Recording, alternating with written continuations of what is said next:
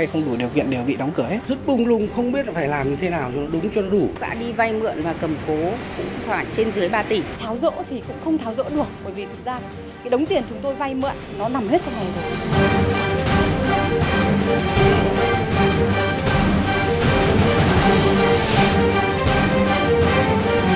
Cái sự phá sản này thì đúng là rất là đau đớn. Vừa mất công ăn việc làm, vừa mất cơ hội để mưu tồn cuộc sống. Ban đầu cũng ờ, cố gắng để gượng để cho những công nhân của mình có việc làm ấy. Nhưng đến hiện tại thì ờ, tháo rỡ này thì cũng phải đi tìm công việc khác.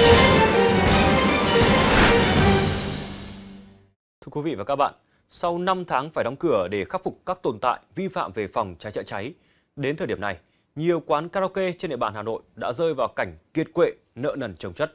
Thậm chí một số chủ quán karaoke phải vay mượn cầm cố tài sản để chờ đến ngày được nghiệm thu về phòng cháy chữa cháy hoạt động trở lại. Tuy nhiên cũng có những chủ quán đã không thể gồng gánh được nợ nần, buộc phải tuyên bố phá sản. Ghi nhận của phóng viên VTC14.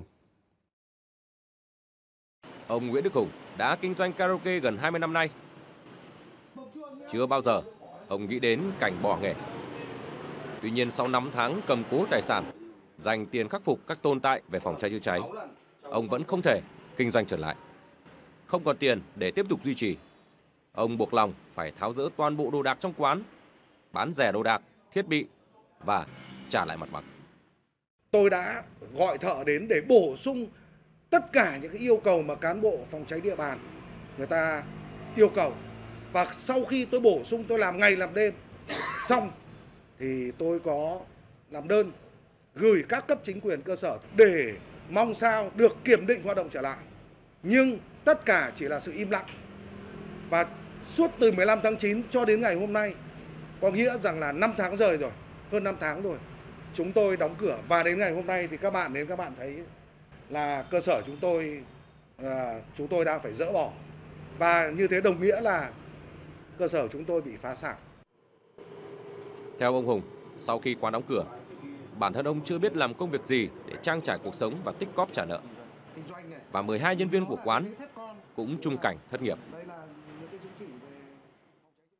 Sự phá sản này thì đúng là rất là đau đớn.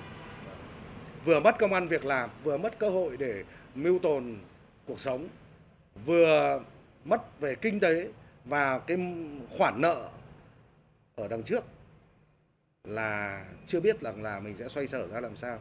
Chắc lại một lần nữa để bán nhà chỉ mong muốn một điều rằng là tôi và một số cơ sở bị phá sản mong làm sao là các cấp chính quyền có biện pháp có phương án tháo gỡ để ngành nghề karaoke này nó được công bằng như những ngành nghề kinh doanh khác.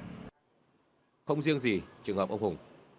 Nhiều quán karaoke trên bàn Hà Nội cũng bắt buộc phải giải thể, đóng cửa vì không thể tiếp tục chờ đợi thêm. Bởi với họ, số tiền hàng trăm triệu mỗi tháng phải bỏ ra để duy trì thuê mặt bằng, trả tiền điện, tiền nước, nhân viên trông coi quán quá lớn và không biết lấy ở đâu. Ban đầu cũng ờ, cố gắng để gượng để cho những công nhân của mình có việc làm ấy. Nhưng đến hiện tại thì ờ, tháo rỡ này thì cũng phải đi tìm công việc khác hoặc là về quê để để ờ, chăn nuôi vườn nhà thôi anh ạ. Giá cả thuê mặt bằng đắt đỏ, cơ hội mở lại quán karaoke còn mờ mịt. Dù không muốn, nhưng nhiều người đành phải ngậm ngùi buông bỏ và chấp nhận nhìn số tiền hàng tỷ đồng đã bỏ ra đầu tư bị phá bỏ trong giây lát. Và với họ, nếu còn chờ đợi, có thể sẽ phải trả giá bằng một số tiền lớn hơn, thậm chí là tán ra, bại sản.